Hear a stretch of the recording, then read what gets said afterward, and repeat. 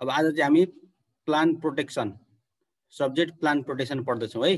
The the first lesson and we have to know some concept and definition about some terminologies some terminology भनेको कस्तो भने यो plan protection subject चाहिँ plan protection plan protection भनेको चाहिँ हामीले यसमा चाहिँ प्लान्टको चाहिँ डिजिज र इन्सेक्ट प्लान्टलाई डिजिज लाग्छ प्लान्टलाई इन्सेक्ट इन्सेक्ट लाग्छ। ती दुइटै कुराबाट हामीले चाहिँ प्लान्टलाई बचाउनु पर्छ अनि सब्जेक्टको नामै प्लान प्रोटेक्सन त्यसरी भएको है। अब यो प्लान प्रोटेक्सन सब्जेक्ट छिर्नुभन्दा अगाडि we have to know some terminologies terminology भनेको T E R M term term plus logy भनेको चाहिँ कुनै पनि टर्म्स नयाँ नयाँ टर्म्सहरू हुन्छ नयाँ नयाँ शब्दहरू हुन्छन् तिनीहरूलाई टर्म्स भनिन्छ। तिनीहरूको बारेमा हामीले स्टडी गर्नु पऱ्यो बुझ्नु पऱ्यो किनकि अब प्लान प्रोटेक्सन बाहिर फेरि धेरै कुरा छन् यहाँनिर। तिमीले नसुनेका वर्डहरू आउँछन्। ती नसुनेका वर्डहरू चाहिँ बुझ्नु पऱ्यो त्यो। ती वर्ड चाहिँ जेनरली यो प्लान प्रोटेक्सन सब्जेक्टभित्र मात्रै युज हुन्छन्। अनि यो टर्म्सको बारेमा बुझेन भने अगाडि पढ्ने अलिक कति कुराहरू बुझ्नलाई गाह्रो हुन्छ। So that we have to know the meaning of those terms अब आज चाहिँ फर्स्ट म अस्ति तिमीलाई पनि दिएको छु यो फोटोकपी त्यसैले आज पढाउँछु अनि भोलि भोलिदेखि अझै अगाडि बढ्छ है। This is the first class of plan protection the first of point is plan protection what is plan protection यसको बारेमा definition this is the branch of agricultural science which utilizes the modern advancement in all other branches of agriculture, agronomy, horticulture, soil, etc. for the betterment of the mankind. यो तिमीले चाहिँ रट्नु पर्यो बुझ्नु पर्यो है। Plant protection भन्दा के हो भन्दाखेरि it is the branch of agriculture science agriculture साइन्सको चाहिँ एउटा यो ब्रान्च हो। यसले चाहिँ that utilize the modern advancement in all branch of agriculture भनेको एग्रिकल्चर अरू जति पनि ब्रान्चहरू छन् एग्रोनोमी हुन्छ यसमा चाहिँ अब खेतीपाती अन्नबालीका कुरो आउँछ इकोनोमीमा हर्टिकल्चरमा चाहिँ अब बागवानी भन्छ नेपालीमा यसमा चाहिँ अब सागसब्जी फलफुलका कुरा आउँछन् होइन? यी सबै कुराको बारेमा चाहिँ सबै कुरा अनि अब सोइल यी हरेक सबै कुरालाई चाहिँ हामीले प्रोटेक्ट गर्नुपर्ने कुरा आउँछ। त्यो प्रोटेक्ट गर्नको लागि चाहिँ मोडर्न एडभान्समेन्टहरू चाहिँ युज हुन्छन्। प्लान्ट प्रोटेक्सनले त्यस्तो प्रोटेक्ट गर्ने काम गर्छ है। It provides innovative solution for taking the problem that is cause by disease and pest in the crop कुनै पनि क्रपमा डिजिज र पेस्ट लाग्छ। डिजिज रोग लाग्ने प्रायः सबै बिरुवा रोग लागेकै हुन्छ सबै बिरुवामा पेस्ट लागेकै हुन्छ। डिजिज भनेर रोग पेस्ट भनेको पनि त्यस्तै हुन्छ। अब it provides all the solution disease पनि लाग्यो पेस्ट पनि लाग्छ। प्लान्टमा डिजिज पनि लाग्छ पेस्ट पनि लाग्छ। अब त डिजिज र पेस्टबाट चाहिँ हामीले छुटकारा पाउनु पऱ्यो we have to take some solutions त्यहाँदेखि हामी सोल्युसन निकाल्नु पऱ्यो त्यो सोल्युसन निकाल्ने काम भनेको भने प्लान्ट प्रोटेक्सनले गर्छ। अनि प्लान्ट प्रोटेक्सनले चाहिँ डिजिज र पेस्टबाट चाहिँ छुटकारा पाउने। त्यहाँबाट स्केप हुने काम पनि यसले हामीलाई हेल्प गर्छ है। Under plant protection we study about insect disease weeds and other living and non living agents that cause harm to the crop भएर त अब प्लान्ट प्रोटेक्सनमा हामीले के के पढेर छौँ भन्दाखेरि वी स्टडी अबाउट इन्सेक्ट इन्सेक्टको बारेमा पढ्नु पऱ्यो प्लान्ट प्रोटेक्सनमा। डिजिजको बारेमा पढ्नु पऱ्यो रोगको बारेमा पढ्नु पऱ्यो विड विड भनेको झार जङ्गल के के हुन्छन् किनकि अब हामीले खेतबारी लगाउँदाखेरि हामीले चाहिँ लगाएको क्रपमा चाहिँ झार उम्रियो भने त विड भनेको झार हो नेपालीमा सिधा बुझ्दाखेरि। झारले धेरै असर गर्छ हामीले गरेको प्रोडक्सनहरू घटाइदिन्छ। हामीले चाहिँ मलहरू हालिन्छ खेतबारीमा त्यो मललाई चाहिँ झारले खाइदियो भने बोट बिरुवाले त्यो मल पाउनु सक्दैन। त्यसलाई विड बनिन्छ यी सबै कुराबाट पनि हामीले हाम्रो प्लान्टहरूलाई चाहिँ जोगाउनुपर्छ। अनि त्यस्तै अरू के के हुन्छ भन्दाखेरि other living and non living agent that causes harm to the crop अब हाम्रो क्रपलाई चाहिँ सबै कुराले हार्म गर्छ। हार्म भनेको चाहिँ असर गर्छ। They may either living things or they may non living things है? लिभिङ थिङ्सले पनि असर गरेको हुन्छ नन लिभिङ थिङले असर गरेको हुन्छ। इन्सेक्ट अब इन्सेक्ट डिजिज विड भनेको लिभिङ थिङ्स भए अब अरू धेरै कुरा पनि हुनसक्छन्। अब एनिमल्सहरू हुनसक्छन्। अब ब्याक्टेरिया हुनसक्छ भाइरसहरू हुनसक्छन्। अब अरू मेमल्स नै हुनसक्छन् बाँदरले नै खाला होइन?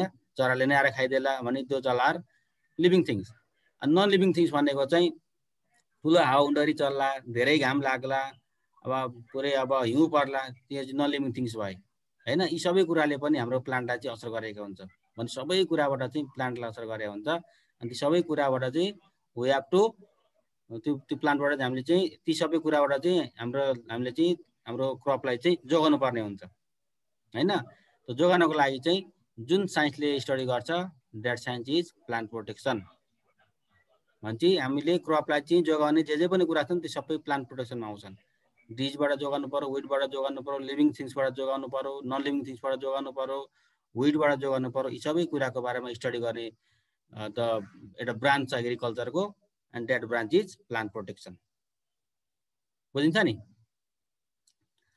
अब the second one is biotic factor है बायोटिक फ्याक्टर सिधै यहाँ तल यो फिगर हेर्दै बुझिन्छ। हेर त बायोटिक फ्याक्टरमा प्लान्ट छन् ब्याक्टेरिया छ एनिमल छ ह्युमेन बिङ्स छन्।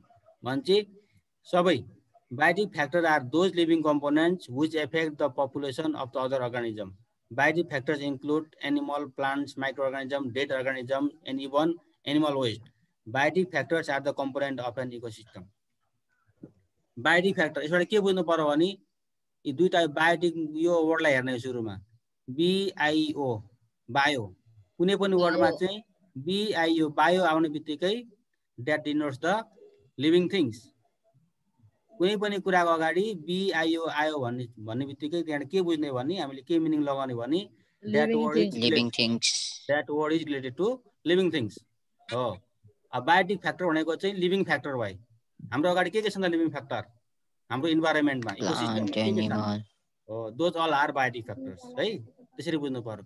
जति पनि लिभिङ अर्गानिजम छन् सबै living organism are they are biotic factor Biotic factors are those living components which affect the population of other organism. अब सबैको आफ्नो आफ्नो पपुलेसन हुन्छ जस्तो प्लान्टको पपुलेसन हुन्छ एनिमलको पपुलेसन हुन्छ ह्युमनको पपुलेसन होला ब्याक्टेरियाको पपुलेसन होला यी सबै कुरा चाहिँ they all are interrelated with each other जस्तो प्लान्टसँग पनि कति एनिमल रिलेटेड भएका हुन्छन् ह्युमन पनि भएको हुन्छ ब्याक्टेरिया पनि हुन्छन् they all are interrelated each each other and they all are the component of an ecosystem कुनै पनि इकोसिस्टम हुनको लागि चाहिँ यी सबै बायोटिक फ्याक्टरहरू चाहिँ हुनु अनिवार्य छ। अब हामीले चाहिँ बायोटिक फ्याक्टरमा चाहिँ लिभिङ अर्गानिजम बुझ्नु पऱ्यो अन्त लिभिङ अर्गानिजमबाट निस्किने पनि सबै बायोटिक फ्याक्टरभित्रै पर्छन् जस्तो। Biotic factor includes animals. Animal include भयो। प्लान्ट पनि भयो। माइक्रो अर्गानिजम भयो। अनि डेड अर्गानिजम हेर? है डेड अर्गानिजम कसरी भयो भन्दाखेरि त्यो डेड पनि त पहिले कुनै समय त लाइभ हुन्छ नि त। होइन? डेड अर्गानिजम भने बित्तिकै यो सबै अर्गानिजम सुरुमा लाइभ हुन्छन्। त्यो लाइभ अर्गानिजम चाहिँ पछि मरेपछि डेड भयो। डेड भएपछि पनि त्यो पनि बायोटिक त हो नि त। किनकि त्यो बायोलोजिकल चिज नै थियो त्यो। जीवित चिज थियो बायो भनेको जीवितबाट बुझ्नु पऱ्यो अनि त्यो सबै। एन्ड इभन एनिमल वेस्ट अब एनिमलले खाएर निकालेको जुन वेस्ट मेटेरियल छ जस्तो गाईले खाएपछि गोबर निकाल्छ भैँसीले गोबर निकाल्छ बाख्राको बढी भनेको एनिमलबाट चाहिँ उसको चाहिँ शरीरबाट चाहिँ आउने जति पनि वेस्ट मेटेरियल छ ती सबै पनि बायोटिक फ्याक्टरभित्रै पर्छन्। किनकि ती सबै चाहिँ they all are derived from the living organisms so that biotic factors are the component of an ecosystem यो बुझ्नु पऱ्यो है so that all the biotic factors are the component of an ecosystem कुनै पनि इकोसिस्टम चल्नको लागि चाहिँ there must be biotic factor यो बुझिन्छ है। जति पनि जीवी चिजहरू छन् ती सबैलाई चाहिँ बायोटिक फ्याक्टर भन्ने बुझिहाल्यो। हामीले देखेका जुन जुन कुराले सास फेर्छन् जुन जुन कुराको ग्रोथ हुन्छ जीवित हुने बित्तिकै लाइभ हुने बित्तिकै दे हेभ टु रेस्पिरेट है रेस्पिरेसन हुनु पर्यो। अनि तिनीहरूको चाहिँ सेल डिभिजन हुनु पर्यो भनेको देयर बडी मस्ट ग्रोथ है। बडी चाहिँ एकदम ग्रोथ हुनु पर्यो ग्रो हुनु पर्यो। सानोबाट ठुलो बढ्दै बढ्दै जानु पर्यो। अनि they have to complete their life cycle तिनीहरूले चाहिँ आफ्नो जीवनचक्र पुरा गर्नु पर्यो। जीवनका चाहिँ धेरैवटा स्टेजहरू हुन्छन्। ती सबै स्टेजहरू चाहिँ उनीहरूले पुरा गर्दै गर्दै लाइफ साइकल कम्प्लिट गर्नु पर्यो। Those all are biotic factor biotic factor चाहिँ कम्पोनेन्ट अफ एन इकोसिस्टम यो भयो। अब number थ्रीमा abiotic factor A abiotic factor biotic अगाडि ए आइदियो भने चाहिँ एबायोटिक भनेको चाहिँ they are non living things they are non living things but they affect to the ecosystem कुनै पनि इकोसिस्टममा यिनीहरूले एफेक्ट गरेका हुन्छन् but they are non living things त्यसरी बुझ्ने। बायोटिक अगाडि ए आउने बित्तिकै एबायोटिक है? They are non living things but they affect to the ecosystem अब बुझ्नु के गर्छ अब यहाँ तल सिधै हेर्दा हेर चाहिँ फिगरमा छ। विन्ड पुरै इकोसिस्टम हुनलाई हावा चाहियो तर बट हावा चाहिँ नन लिभिङ थिङ्स हो। सनलाइट चाहियो सनलाइटै छैन भने अब इकोसिस्टमै चल्दैन होइन? But it is non living things soil soil पनि सिधा हेर्दा नन लिभिङ थिङ्समै काउन्ट हुन्छ यो पनि। Water it is also non living thing atmosphere होइन? टेम्परेचर यी सबै कुराहरू चाहिँ टेम्परेचर चाहिँ सनलाइटबाट ड्राइभ भयो होइन? यी सबै कुराहरू हुन्छन् तर but these all are abiotic factors. किनकि यिनीहरूको ग्रोथ हुँदैन नि त। ग्रोथ हुँदैन यिनीहरूको लाइफ साइकल कम्प्लिट हुँदैन। So that these all these all are abiotic factors हो। एबायोटिक फ्याक्टर्स बायोटिकको अगाडि ए आउँदाखेरि एबायोटिक नेपालीमा यसलाई अजैविक भनिन्छ। बायोटिक फ्याक्टरलाई नेपालीमा भन्नु पर्यो भने जैविक भनिन्छ। जैविक चिजहरू एबायोटिकलाई अजैविक चिजहरू। हो। Abiotic factors are non living components of the environment सिधै आइहाल्यो abiotic factors are the non-living components of the environment which affect the function of environment and living organisms. Abiotic factor भनेको नेपालीमा अजैविक पदार्थ. They are non living component living होइनन् तिनीहरू non living हुन्. तिनीहरूले सास पनि फेर्दैन तिनीहरूको बडी ग्रोथ पनि हुँदैन तिनीहरूको लाइफ साइकल पनि हुँदैन. But they affect directly to the environment and living organisms यिनीहरूको चाहिँ अब आफ्नो लाइफ साइकल पनि हुँदैन यिनीहरू पढ्दैन पनि यिनीहरू केही हुँदैन. They all are non living things but तिनीहरूको कारणले गर्दाखेरि इन्भाइरोमेन्टमा एफेक्ट गर्छन् यिनीहरूले. They affect the environment and living organism जति पनि लिभिङ अर्गानिजम छन् ती सबै लिभिङ अर्गानिजमलाई एबायोटिक फ्याक्टरले डाइरेक्ट इफेक्ट गरेको हुन्छ जस्तो। हरेक लिभिङ अर्गानिजमलाई सनलाइट चाहियो। घाम सूर्य छैन भने त कुनै पनि लिभिङ अर्गानिजम संसारमा चाहिँ जीवितै हुन सक्दैनन् मरिहाल्छन्। सबैलाई वाटर पनि चाहियो सबैलाई टेम्परेचर पनि चाहियो तातो चिसो सबै खालको चाहियो। एटमोस्फियर सबैलाई हावा चाहियो सबैलाई। सबैलाई सोइल पनि चाहियो हावा उनीहरू पनि चाहिन्छ सबै कुरा चाहिन्छ। But these all are abiotic factors अब एबाइटी फ्याक्टर पनि हुनु पऱ्यो अनि यिनीहरूले चाहिँ डाइरेक्टली इन्भाइरोमेन्टलाई एफेक्ट पनि गरेका हुन्छन्। सम्झ त यदि सनलाइट छैन भने होइन कुनै पनि बोट बिरुवाहरू कुनै पनि living अर्गानिजमहरू they cannot exist in the earth है। अर्थमा चाहिँ कुनै पनि यिनीहरू रहन सक्दैनन्। वाटर छैन भने मरिहाल्छन् सबै चिजबिजहरू। जीव जन्तुलाई चाहिने सबै कुरा चाहिँ पानी नै हो। हावा पनि हो सूर्यको प्रकाश पनि हो। These are abiotic factors. These all abiotic factors but they affect directly to the environment. अब यिनीहरू एबाडी फ्याक्टर हामीलाई चाहिने त चाहिन्छ। तर यिनीहरूले चाहिँ कहिलेकाहीँ धेरै भयो पनि असर गर्छ। थोरै भए पनि असर गर्छ धेरै भयो पनि असर गर्छ। त्यसरी बुझ्नुपर्छ। Abiotic factors include rainfall. Rainfall भनेको पानी भइहाल्यो विन्ड भनेको हावा भयो टेम्परेचर भनेको तापक्रम। होइन कहिले तातो कहिले चिसो हुन्छ अब एल्टिच्युड भनेको चाहिँ टोपोग्राफी भयो। जस्तो अब हामी यो तराई क्षेत्र अलि अलि माथि जाँदाखेरि हिमाली भाग भयो अझै माथि गयो भने अब माउन्टेनिस भाग भयो होइन हिमालय अझै माथि गयो भने एकदम चिसो स्नो हुने ठाउँ भयो अल्पाइन एरिया भयो। ती सबै कुराहरू चाहिँ एल्टि एल्टिच्युड भयो। सोइल भनेको माटो भइहाल्यो पोल्युसन भनेको नि अब फोहोर कुरा आए। न्युट्रियन्ट्स भनेको बोट बिरुवा चाहिने खानेकुराहरू पनि न्युट्रियन्ट्सहरू भए। पिएच भनेको चाहिँ अब यो यसले चाहिँ एसिड छ कि बेस छ के छ भन्ने कुरो यसले पत्ता लगाउँछ। यो पछि यिनीहरूको बारेमा पढाइ हुन्छ एन्ड सोलर रेडिएसन सूर्यको प्रकाश।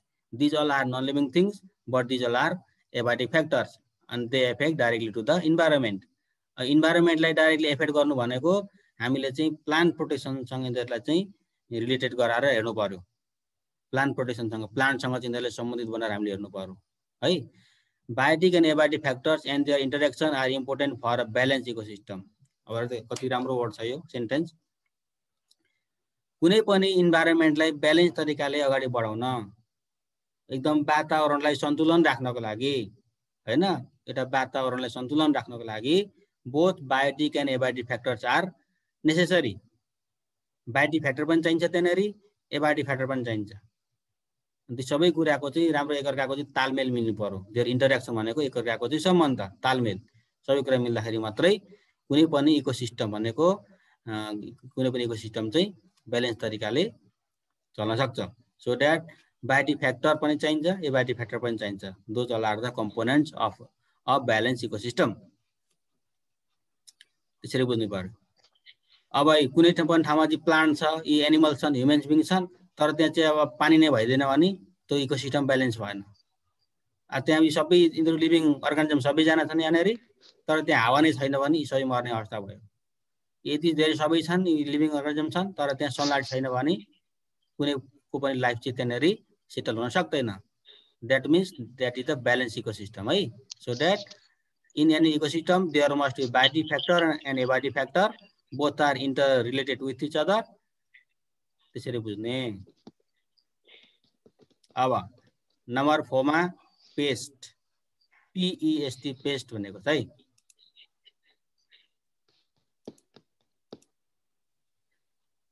पेस्ट। अब पेस्ट भनेको के भने हामीले झुकिन्छ है कहिले काहीँ कहिले काहीँ पिएएसटी लेखिएला फेरि झुकिन बिग्रिन्छ त्यो।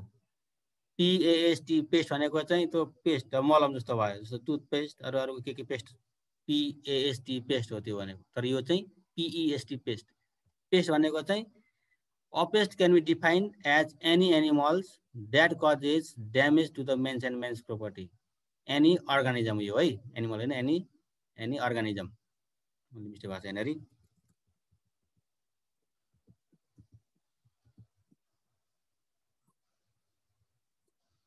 है पेस्ट भनेको चाहिँ pest can define as any organism that causes damage to the men's man property जुनसुकै खाएको चाहिँ अर्गानिजम होस् त्यसले चाहिँ मानिस र मानिसको प्रोपर्टीलाई चाहिँ ड्यामेज गर्छ भन्ने।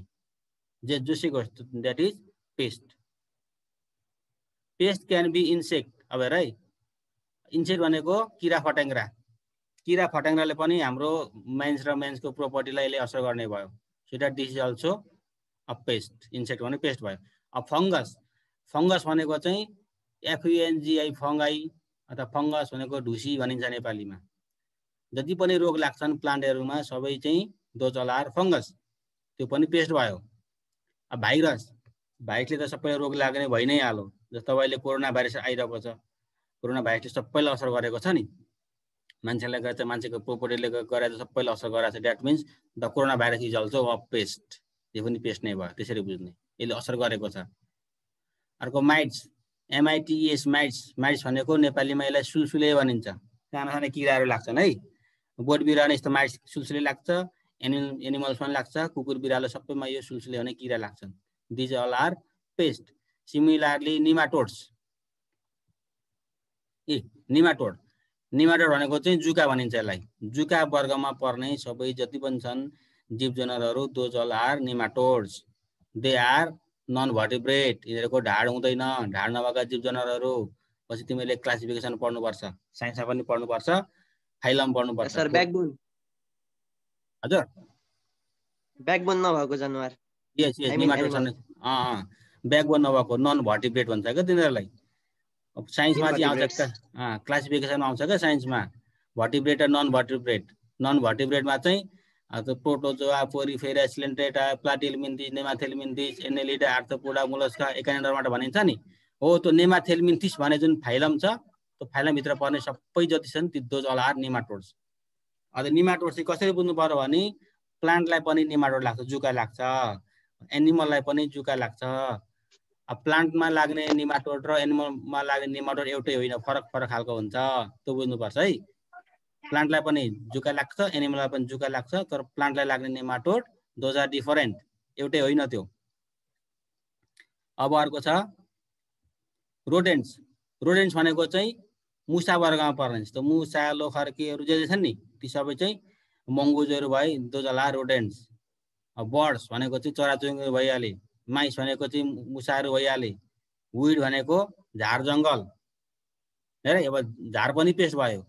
And any other organism that cause damage to the women and their property हो हेर्दै सबै कुराले असर गर्ने भयो नि त मान्छेलाई र मान्छेको सम्पत्तिलाई होइन? पेस्ट लिएर चाहिँ insect fungus virus mites nematode rodent bird mites यी सबैले चाहिँ these all are living things and they cause harm to the women property. So that they they call as pest. यिनीहरूलाई चाहिँ हामीले पेस्ट भनिन्छ। So pest belongs to broad spectrum of organisms. यो बुझ्नु पर्यो ब्रोड भनेको चाहिँ एकदम ठुलो विस्तृत रूपमा पेस्टले चाहिँ एउटा मात्रै कुरालाई जनाउँदैन। दिस इज ब्रोड भन्न खोजेको है। ब्रोड भनेको चाहिँ अर्को यसमा चाहिँ अब ब्रोडमा चाहिँ धेरै भेटो नि त यसले चाहिँ इन्सेक्ट भने कति छन् इन्सेक्ट कति हो कति इन्सेक्ट छन्? फङ्गस भनेको नेचरमा कति हो कति फङ्गस छन्? रोग लगाउने चिजहरू भाइरस दुनियाँ खालका छन् कति हो कति छन्?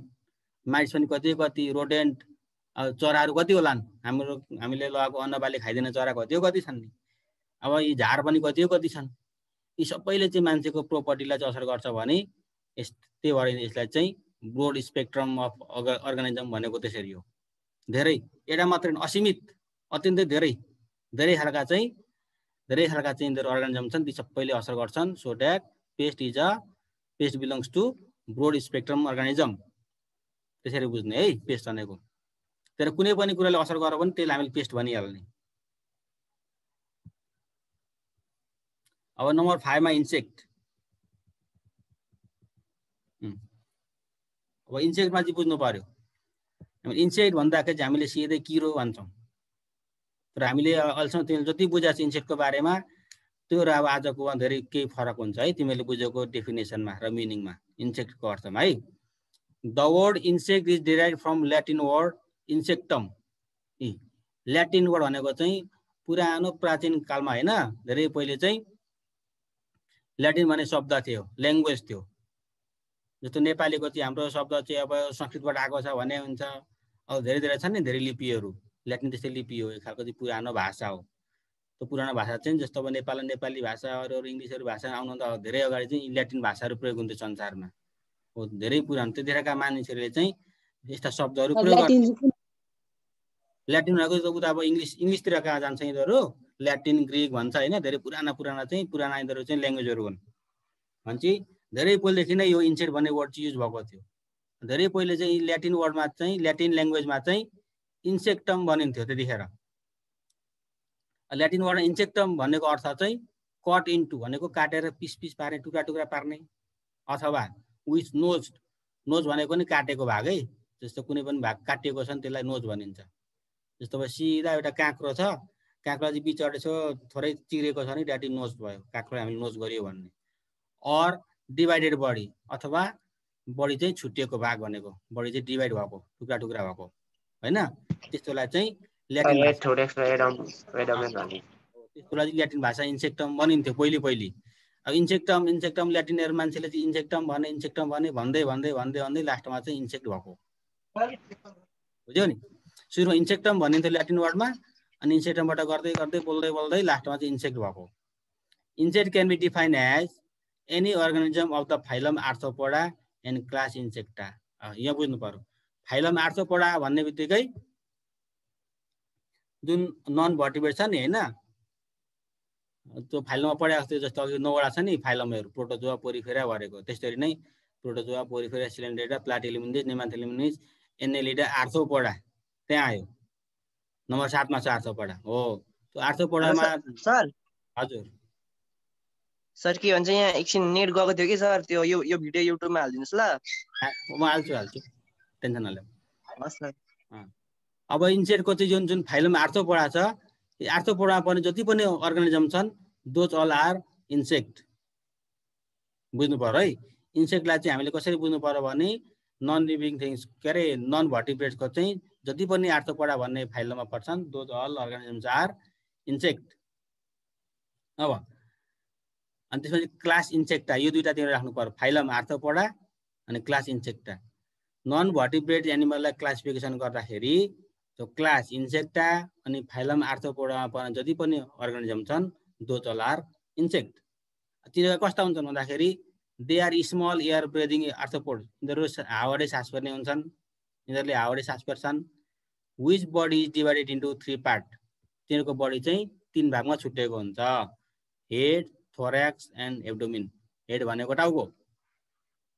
टाउको अनि थोऱ्याक्स भनेको छाती अनि एब्डोमिन भनेको पछाडिको भाग पेट। है जस्तो यहाँनिर हेड नै। हेड भनेको यति छ यहाँ बिच चाहिँ घाँटीदेखि माथि यतिलाई हेड भनेको छ दिस हेड भयो थोऱ्याक्स चाहिँ टाउकोदेखि यो पछाडि यहाँसम्म है। यति छातीको भाग थोऱ्याक्स अनि पछाडिको भाग चाहिँ एब्डोमिन भयो। जस्तो सपोज यसकै ठाउँमा चाहिँ एउटा चाहिँ मौरीको पनि सम्झिने हो भने मौरीको अगाडि टाउको हुन्छ टाउकोदेखि बिचमा थोरै छिनेको भाग हुन्छ अलिकति त्यो थोऱ्याक्स भयो त्यहाँदेखि पछाडिको भाग चाहिँ जुन ठुलो भाग हुन्छ द्याट इज एब्डोमिन जो इन्सेटको यसरी तिनवटा भाग बडी चाहिँ यसरी तिन भागमा छुट्टिएको हुन्छ। अब के के हुन्छ होला? इन्सेट हुनलाई के के चाहियो भन्दा हेड चाहियो थोऱ्याक्स चाहियो एडोमिन चाहियो। टाउको छाती र पेट तिन भागमा छुट्टिएको हुन्छ। And having three pairs of leg three pairs of leg हुनै पर्यो। इन्सेटको चाहिँ तिन थ्री पेयर भनेको सिक्स लेग तिन जोडी है थ्री पेयर भनेको तिन जोडी खुट्टा हुनु पर्यो भनेको छवटा खुट्टा हुनु पर्यो and usually two pairs of wings अनि दुई जोडी पखेटा। अब बुझ्नु पर्यो इन्सेक्ट हुनलाई हामीले इन्सेक्टलाई डिफाइन गर्दाखेरि कसरी गर्नु पर्यो भन्दाखेरि इन्सेक्टको चाहिँ they are those organisms they comes under the phylum arthropoda and class insecta एउटा भन्नु पर्यो insect word is derived from latin insectum means cut into or with nose or divided body यो पनि भन्नु पर्यो इन्सेक्ट हुनलाई के के चाहियो भन्दाखेरि तिनीहरूको चाहिँ बडी चाहिँ तिन भागमा डिभाइड भएको हुनु पर्यो। हेड थोराक्स एन्ड एब्डोमिनमा अनि they they must have three pairs of leg तिन जोडी खुट्टा हुनु पर्यो and two pairs of wing दुई पखेटा पनि हुनु पर्यो। यति हुँदा मात्रै इन्सेक्ट हुन्छ। अब हेर तिमीले बुझेको र यसमा कति फरक पर्यो? यसो बाटोमा चाहिँ हिँड्दै गर्दा गणेला देखिन्छ। ओ किरा रहेछ भनिन्छ। मिस्टेक गलत भइहाल्यो त्यो। गणेला भनेको इन्सेक्ट होइन। किन गणेला चाहिँ एनेलिडा भन्ने फाइलमा पर्छ। हामीले चाहिँ इन्सेक्ट हुनलाई चाहिँ आर्थोपडा फाइलम चाहियो। गणेला पर्छ एनेलिडा लिडामा तर त पनि किरो भएन। जस्तो अब अघि माथि यहाँनिर मैले भन्दा भन्दाखेरि यहाँ आएको थियो। जस्तो अब निमाटोड निमाटोड भनेको नेमाथेलमिन्थिस भन्ने चाहिँ फाइलमा पर्छ जुका वर्गमा। अनि त्यसलाई पनि अहिले किरो भन्नु मिलेन। है? त्यसरी। अब यिनीहरूको चाहिँ इन्सेक्टको एउटा सानो यहाँ यो फिगर हेर त। एन्टिना हुन्छ अगाडिको सिङ जस्तो हुन्छ इन्सेक्टको दुईवटा एन्टिना हुन्छन्। यो दुइटा एन्टिना भयो हेड भनेको टाउको भयो छाती भयो एब्डोमिन भयो फिमर भनेको तिग्राको यो खुट्टाको तिग्राको भागलाई फिमर भनिन्छ। अब यो फोर विङ भनेको छ। एफओआरी फोर फोर भनेको अगाडि बुझ्नु पर्यो। फोर विङ भनेको अगाडिका खुट्टा के अरे अगाडिको पखेटा है? फोर अगाडिकोलाई फोर भनिन्छ पछाडिकोलाई इ एचआइएनडी हाइन्ड भनिन्छ। यहाँ खुट्टाको भागमा हेरिन्छ। एफओआरी फोर लेग भनेको अगाडिका खुट्टा भन्ने हो। फोर भनेको अगाडिका खुट्टा। मिडिल लेग भनेको बिचका खुट्टा। अब हाइन्ड लेग भनेको पछाडिका खुट्टा। तर कुनै पनि कुरामा एफओआरई फोर आयो भने यो चाहिँ अगाडिको भनेर बुझ्नु पर्यो। एचआइएनडी हाइन्ड भन्यो भने पछाडिको भनेर बुझ्नु पर्यो। अब फोर लेग भनेको अगाडिका खुट्टा ह्यान्ड लेग भनेको पछाडिका खुट्टा। फोर विङ भनेको अगाडिको पखेटा ह्यान्ड विङ भनेको पछाडिका पखेटा। त्यसरी बुझ्नु पर्यो है। इन्सेक्टलाई यसरी बुझ्ने। यो फिमर यसलाई यसलाई डिल गर है। फिमर भनेको यो तिराको भाग है। कुरा के अरे किराको चाहिँ जुन यो थोराक्सबाट ठ्याक्क जोडेको ठाउँको जुन लामो भाग हुन्छ त्यसलाई फिमर यो चाहिँ अब यो फिगरमा स्केलिङ गरेको यो। यस्तो यस्तो गरेको चाहिँ। यो चाहिँ देखि त पार्ट्स अफ इन्सेक्ट इन्सेक्टको चाहिँ body part external body part तर इन्सेक्टलाई जस्तो अब एउटा बुझ्नु पर्यो। हेर्ने बित्तिकै इन्सेक्ट हो हो केही नबुझ्नलाई त्यसको चाहिँ तिन जोडी खुट्टा र दुई जोडी पखेटा छ कि छैन? मेन कुरो त चाहिँ चाहिहाल्यो इन्सेक्ट हुनलाई। अनिवार्य त्यो चाहिँ that is the basic requirement to become an insect अब हामी चाहिँ माकुरोलाई पनि किरो भनिन्छ। माकुरोलाई माकुरो नै भनियो। माकुरोलाई स्पाइडर भनियो। Spider is not an insect है? स्पाइडर इन्सेक्टमा काउन्ट हुँदैन किनकि स्पाइडरको पखेटा हुँदैन। स्पाइडरको आठवटा खुट्टा हुन्छ। छवटा खुट्टा हुँदैन। आठवटा खुट्टा हुने बित्तिकै त्यो इन्सेक्टमा परेन। धेरै झुकिने कुरो पछि पछि भाइ बाबामा चाहिँ सोधिन्छ यो स्पाइडर इन्सेक्ट हो कि होइन? भन्दाखेरि हो भन्दाखेरि कसरी हो? होइन भन्दा कसरी होइन? बुझ्नु पर्यो। यही हो कुरो। स्पाइडर इन्सेक्ट होइन। किनकि स्पाइडरको बडी पनि हेड थोराक्स एब्डोमिन तिनमा छुटेको हुँदैन अनि त्यसको छडा खुट्टा पनि हुँदैन दुई दुईजोडी पखेटा पनि हुँदैन। त्यसरी बुझ्ने। अब टाइम सकिन आँटो छ मिनट छ अब थोरै पढौँ अनि सकिन्छ। अब disease. Number six disease disease भनेको चाहिँ रोग। रोगलाई अब हामीले कसरी डिफाइन गर्ने? रोग त रोग लागेको त भनिन्छ तर रोगलाई हामी कसरी डिफाइन गर्ने? हाउ टु डिफाइन डिजिज हो। Disease may be defined as deviation from normal physical and physiological state of living organisms अब डिजिज भन्ने बित्तिकै लिभिङ अर्गानिजमलाई लाग्ने हो। नन लिभिङ थिङ्सलाई डिजिज लाग्दैन। ढुङ्गालाई रोग लाग्दैन। माटोलाई रोग लाग्दैन। उता अब सुकेको मकेको काठलाई रोग लाग्दैन है ठुलो रकलाई रोग लाग्दैन। रोग लाग्ने भनेको जति छन् लिभिङ अर्गानिजम ती सबैलाई रोग लाग्छ। अब deviation from normal physical and physiological state of living organisms अब हेर डेभिएसन भनेको चाहिँ थोरै फरक बनाउने जुन नर्मल अवस्था थियो नर्मलबाट चाहिँ थोरै फरक। नर्मल फिजिकल भनेको चाहिँ जस्तो मलाई हेर्ने भने मेरो फिजिकल भनेको चाहिँ मेरो बडी होइन? त्यो मेरो बडी स्ट्रक्चर कस्तो छ? ठ्याक्क फ्रेस छु भने द्याट इज नर्मल फिजिकल भयो। डेभिएसन भनेको म नर्मलबाट चाहिँ फरक हुने भएँ। एउटा त्यो कुरो हो। फिजिकलमा जस्तो मलाई कुनै रोग लाग्यो कुष्ठ रोग लाग्यो अथवा केही रोग लाग्यो शरीरको चाहिँ अब स्ट्रक्चरै बिग्रियो। भने नर्मल स्ट्रक्चर बिग्रिनु भने पनि that is deviation from normal state physical स्टेटबाट चाहिँ त्यो डेभिएसन भयो। यता नर्मल मान्छेको चाहिँ हेर्दाखेरि जुन स्ट्रक्चर हुनुपर्थ्यो त्यसमा चाहिँ फरक पनि आइदियो। होइन? अब हेर्दाखेरि चाहिँ उसको नर्मल अवस्थाबाट फरक द्याट इज फिजिकलमा चाहिँ डेभिएसन भयो। फिजियोलोजिकल भनेको चाहिँ उसले गर्नुपर्ने अवस्थाहरू जस्तो अब नर्मल मान्छेले चाहिँ अब मजाले सामान्य तरिकाले सास फेर्नु पर्थ्यो सामान्य तरिकाले हेर्न सक्ने कुनै पनि कुराको चाहिँ त्यसले चाहिँ स्पर्श गर्न सक्ने टच गर्ने फिलिङ्स हुने कुराहरू। अनि उसको चाहिँ अब जुन डाइजेसन सिस्टम छ त्यो सिस्टम चाहिँ नर्मल हुने कुराहरू ती सबै चाहिँ फिजियोलोजिकल भयो। ती कुरामा असर भइदियो भने डेभिएसन भयो। जस्तो प्लान्ट पनि नर्मल प्लान्ट छ सिधा प्लान्ट उभिरहेको हुन्छ। अब प्लान्ट चाहिँ ओइल आयो भने फिजिकल स्टेजमा बिग्रियो। होइन प्लान्ट कुनै भएको थियो मकायो कुहियो भनेको त्यसको नर्मल फिजिकल स्टेजबाट फरक पनि आइदियो। फिजियोलोजिकल भनेको चाहिँ प्लान्टले फोटोसिन्थेसिस गर्न छोडो प्लान्टको चाहिँ फ्लारिङ हुन छोडो प्लान्टले चाहिँ रुटबाट चाहिँ अब न्युट्रियन तान्न सक्न छोडो प्लान्ट चाहिँ फल्न छोडो भने फिजियोलोजिकल स्टेजमा चाहिँ त्यसको चाहिँ डेभिएसन भयो। नर्मल फिजिकल र फिजियोलोजिकल भनेको त्यस्तो त्यस्ता कुरा चाहिँ जुन नर्मल हुनु पर्थ्यो त्योभन्दा फरक पनि आइदियो भने that is deviation from normal state त्यो नै डिज हो अब. डिज भनेको त्यही हो।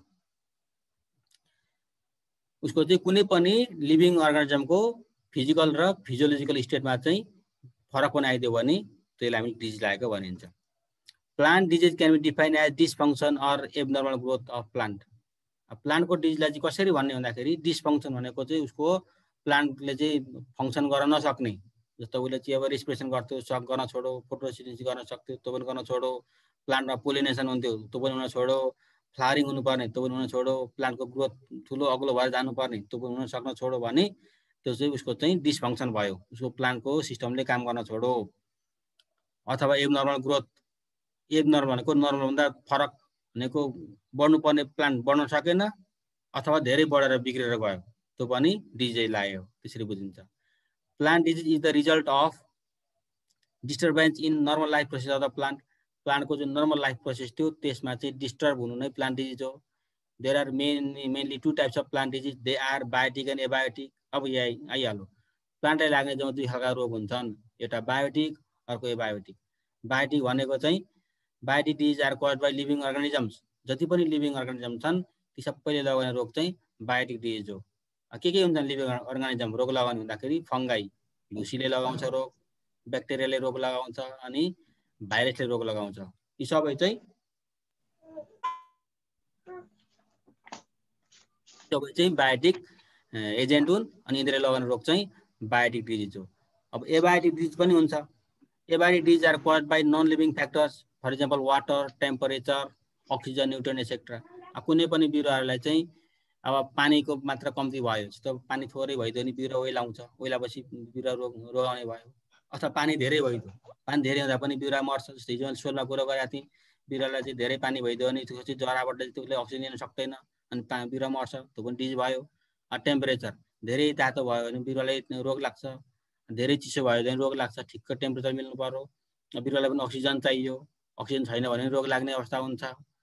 अनि न्युट्रियन्ट न्युट्रियन्ट भनेको बिरुवालाई खानेकुरा पनि चाहियो है जस्तो युरिया डिएपी के के हामी हालिन्छ नि अर्ग्यानिक दुनियाँ कुरा हालिन्छ ती सबै कुरा भएन भने पनि बिरुवालाई रोग लाग्छ। त्यही भएर डिजलाई त्यसरी हामी डिफाइन गर्ने हो। These are cause by mainly two factors abiotic factor and biotic factor है अब टाइम सकियो। अब आजलाई यति। यो भिडियोलाई म उता हालिदिन्छु। अनि नेपालीको टाइम भएन अरे हो बेलुका। नेपालीको टाइम भएन सर भोलि क्लास हुन्छ कि हुँदैन स्याटरडे हुँदैन है स्याटरडे छुट्टी है अरू बेला सधैँ हुन्छ सर भोलि क्लास हुँदैन हुँदैन हुँदैन सर नेपालीको टाइम भएन अरे भनेको सर नेपालीको टाइम टेबल मिलाउनु न सरलाई सरको नम्बर त्यहाँ सरसँग तिम्रो सल्लाह गर कि अनि कुन सरसँग त्यो चाहिँ रुटिनमा मैले सरको नम्बर हालिदिएको छु त्यहाँ फोन गर्ने खेम सरसँग कुन सरलाई